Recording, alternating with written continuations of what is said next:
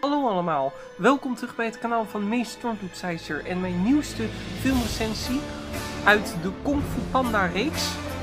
Ehm, zoals ik al aan het einde van mijn vorige recensie heb verteld, slaan we Kung Fu Panda 2 over. Want ik vond die vreselijk saai en totaal niet gedenkwaardig. In tegenstelling tot deze film, Kung Fu Panda 3 die met recht een van de mooist uitziende animatiefilms is die ik ooit heb gezien.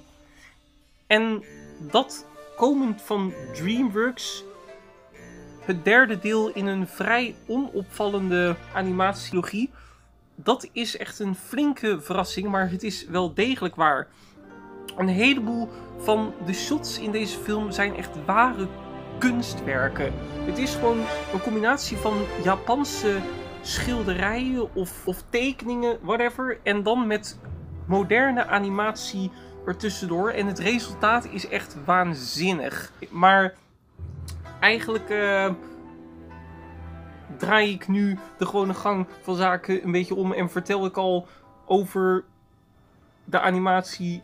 Voor ik over de rest heb gesproken. Ik wil er alleen maar mee zeggen dat uh, de animatie echt de allergrootste kracht is van, van deze film. En als ik eerlijk ben, houdt het daar ook wel een beetje bij op. Dit is geregisseerd door Alessandro Carloni en Jennifer June Nelson, waarvan de eerste ook betrokken is geweest bij de vorige Kung Fu Panda films als schrijver en producer.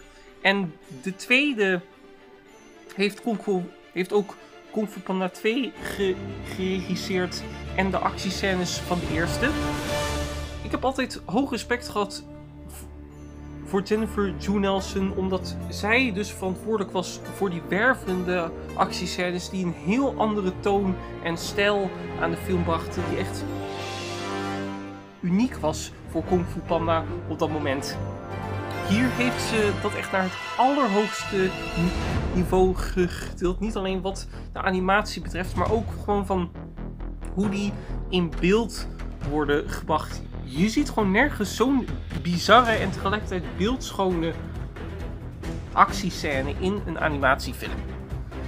Um, en ook qua, qua karakter en emotionele momenten en spanning weet ze die uh, goed te te, te framen. Ze weet ze echt te laten klinken. Ondanks het feit dat het script dat geschreven is door Jonathan Eibel en Glenn Berger, die ook scripts hebben meegeschreven van twee Kung Fu films. Ondanks dat dat script dus helemaal niet zo sterk of diep is als je zou wensen, is de algehele rit toch nog vrij soepel. Um, want dit vertelt het verhaal over Po die nu een volledig, volledige en ervaren kung fu krijger is. En nu is het tijd voor de volgende stappen in zijn leven. Um, die kennis en wijsheid doorgeven aan anderen. Maar natuurlijk, hij heeft een heel erg uh, onzekerheidscomplex met dat. Omdat hij zelf ook maar half weet wie hij werkelijk is. Uh, want zijn, zijn, zijn ware familie en zijn achtergrond, die, die is heel vaag gebleven. Die werd heel even wat helderder gemaakt in Kung Fu Panda 2. Dat krijgt dus hier vooral de aandacht wanneer hij zijn vader ontmoet en die hem meeneemt naar een dorpje met zijn eigen soortgenoten vol met panda's. En dan is er natuurlijk ook nog de grote bad guy in de vorm van een gigantische buffel met twee strijdbijlen aan kettingen die uit is op macht en vernietiging, bla Um, en dat verhaal dat zit prima in elkaar. Het uh, legt wat meer licht op Po en, en, het is, en het is een richting die, die we normaal niet zien in de Kung Fu Panda films. Maar tegelijkertijd neemt het nou ook niet echt risico's en gaat lang niet zoveel in op de dingen die het allemaal probeert. Er zitten best wel wat clichés in en een hoop zijkarakters die worden heel erg naar achter geschoven en krijgen een vrij kleine rol. En helaas leidt de antagonist daar ook onder. En dat is doodzonde, want hij ziet er super badass uit. Heeft zijn eigen gave thema. Muziek en is ook nog best wel intrigerend. Maar je voelt gewoon niets voor die vent. Je kan niet echt aan hem relateren, omdat het cruciale deel van wat hem motiveerde om een bad guy te worden, dat dat gewoon echt heel algemeen en vaag is. En, en als die emotionele kern er nog was geweest, dan was de dreiging echter en was de emotie ook gewoon tastbaarder. Maar dat was helaas niet zo hier. Ehm, wat de stemacteurs betreft, Jack Black als Poe is wederom in topvorm. Hij is echt gewoon uh, de perfecte keuze, zoals Robert Downey Jr. voor Iron Man. Zo is hij dat voor Poe. Hij hoeft niet veel te veranderen qua stijl aan, aan wat zijn stemwerk is. Poe is gewoon even grappig, menselijk en badass als altijd. En Jack Black doet het gewoon top. Ehm, J.K. Simmons speelt de bad guy. Die heet Kai. Um, we kennen hem, hem natuurlijk van de film Whiplash als vrede en brute drumleraar. En, en ook uit The Legend of Korra als Angst zoon en Korra's mentor Tenzin. Um, met J.K. Simmons is vrijwel niets mis. Hij is echt zo goed in deze rol. Legt echt een heleboel energie, pit en dreiging in die rol.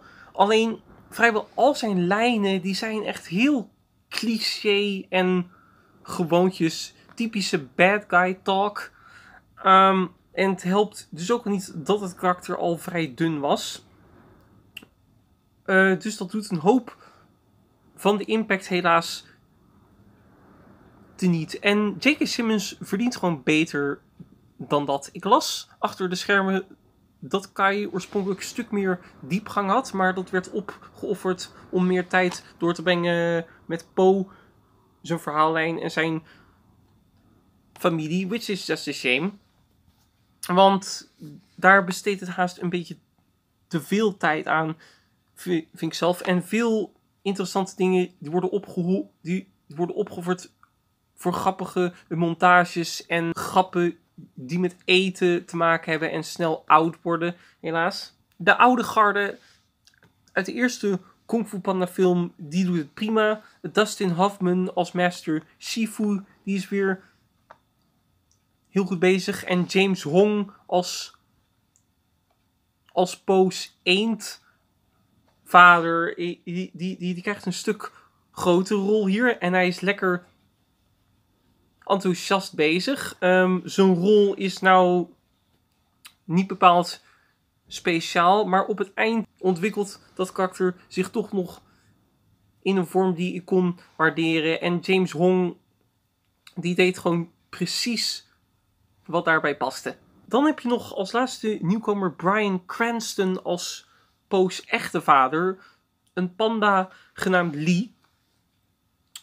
Uh, die leed ook een beetje onder, onder ontwikkeldheid. Brian Cranston sprak hem behoorlijk goed in. En het karakter was heel erg sympathiek. Maar je ziet zijn ontwikkeling al ver van tevoren aan, aankomen. En buiten dat onderscheidt hij zich gewoon niet echt veel van zijn zoon. Die vader die heeft geen karaktertrek die hem echt definieert en apart zet als zijn eigen identiteit. En dat is best wel jammer, want het is een heel belangrijke emotionele speel in dit verhaal. Terwijl James Hong als die ene vader, die, die had twee voorfilms om zichzelf te onderscheiden als karakter. Dus wat de stemacteurs betreft, ze zijn, ze ze variëren van prima tot zelfs behoorlijk goed. Alleen aan de karakters ontbreekt het nogal qua hoe effectief ze zijn en hoeveel ontwikkeling ze eigenlijk hadden moeten krijgen. Nou, over de animatie heb ik al een hoop ge gepraat. Dus ik hoef daar eigenlijk niet zoveel meer aan toe te, te, te, te voegen. Maar voor zowel de karakteranimaties als die prachtige achtergronden en de vechtscènes. Alles is echt op het hoogtepunt. How to Train Your Dragon 3 die heeft het misschien weten te overtreffen. Maar echt qua gewoon pure schoonheid heb ik zelden een mooiere film gezien dan Kung Fu Panda 3. It's just incredible. De muziek die is gedaan door Hans Zimmer, die het stokje overnam van John Powell. Um, omdat, hij, omdat hij zich met andere films bezig hield. Ik weet niet precies de details. Uh, maar Hans die heeft samen met John Powell de eerste twee films helpen ontwikkelen qua muziek. Dus hij wist precies welke thema's hij gebruiken moest en hoe. En muziek, die, die is leuk, mooi, entertainend. En Kai zelf, die heeft echt wel een best cool thema. Uh, ik vond het alleen jammer dat het een beetje naar de achtergrond werd verdreven. Dat was ook zo bij de eerste film. En als sommige nummers echt een beetje meer, meer naar de voorgrond drongen, dan zou het pas echt een goede ervaring zijn geweest, denk ik zo. Nou, ik denk dat daarmee wel alles is gezegd over Kung Fu Panda 3. Het is een leuke afsluiter van de trilogie. Het ziet er waanzinnig mooi uit. De acteurs die zijn prima op dreef, maar het verhaal is gewoon niet zo speciaal. En een hoop zij-karakters die hadden beter ver, ver, ver, verdiend. En bovenal het verhaal dat had zich echt wat meer gestroomlijnd moeten maken in plaats van zoveel potentiële lijntjes tegelijkertijd erin te stoppen. De film die voelt niet vol gepropt, maar wel vol gemist potentiaal. Ik geef het een 7,6 van de 10. Ik laat een poll achter, zodat jullie zelf kunnen laten weten wat jullie ervan vinden. En ik zie je de volgende keer bij het kanaal van Meester Stormtroop met een nieuwe filmrecensie. We gaan dan naar een van de films van, van afgelopen jaar die 11 Oscar nominaties kreeg. Joker. Goodbye and live long and prosper.